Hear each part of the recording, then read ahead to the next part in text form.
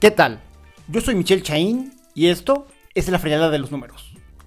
El día de hoy nos alejamos de las políticas públicas y de todo el tema sendario para entrar a otro tema que es fundamental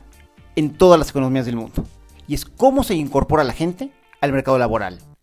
Porque en cada época, lo mismo en la época feudal que en la época de la primera revolución industrial, la segunda, cuando empieza realmente el modernismo, siempre se le han requerido cosas diferentes, tanto a los ejecutivos como a los trabajadores. En el caso de la tercera revolución industrial, que es la que se da con el advenimiento del Internet, que es la primera revolución industrial que ya no está asociada a una fuente energética, sino literalmente a nuestra capacidad de enlazarnos y conformar lo que es la aldea global, a partir de ahí empieza una revolución aceleradísima donde cada vez es más importante que cada miembro de una organización, cada trabajador, le dé valor agregado. Y esto es todavía más claro y más importante de cara a la cuarta revolución industrial, que es donde estamos comenzando con el Internet of Things o como también se le llama la economía del futuro, la economía 4.0, donde hay por lo menos cuatro tendencias muy claras que nos van a acompañar en los años por venir. La primera que es muy interesante es la de las XOs, que tiene que ver con Exceptional Organizations. Generalmente son estas empresas de base tecnológica que gracias a sus avances han crecido exponencialmente, que ya dejaron muy atrás a la competencia y que ahora todos los días compiten contra ellas mismas. Y este es un caso muy interesante porque el amalgamiento entre capital humano y capital tecnológico es todo un reto. ¿Cuál va a ser la aportación de los administradores, de los managers, de los ejecutivos en empresas donde prácticamente toda la administración ya está sistematizada y se les exige que prácticamente a cada movimiento que haga haya valor agregado para el negocio. Y algo similar sucede con, otro fenómeno que se le ha dado a conocer como limitless. Limitless que en, inglés significa sin límites y que se refiere a todo este tema con el que nos hemos vuelto muy familiares que es el trabajo a distancia. Sin embargo,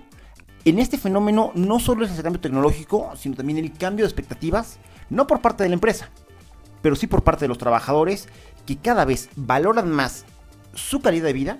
sobre los sacrificios que hacíamos en el siglo XX por tener una carrera corporativa donde fueras avanzando poco a poco en esa escalera burocrática. Y algo similar sucede con el tercer fenómeno, que son las multidiversidades. Porque hace algunos años hablábamos de multidisciplinario porque tenemos que trabajar con gente que había estudiado cosas diferentes. Después hablábamos de internacional porque empezábamos a confluir profesionistas de diferentes países. Con, la, con el Internet y la globalización empezamos a hablar de multicultural y ahora en una posmodernidad donde parte del reto es redefinirnos a nosotros mismos como individuos en un entorno donde cada vez tenemos más influencias y es más difícil encontrar este espacio para, para saber quiénes somos, ahora enfrentamos un tema donde al otro, el que tenemos enfrente, a nuestro contraparte, ya no lo podemos ver y ya no lo podemos tratar en función de los supuestos que nosotros tenemos, sino que cada vez es mayor la tendencia para que cada quien sea tratado, visto, te le dirijas a él o a ella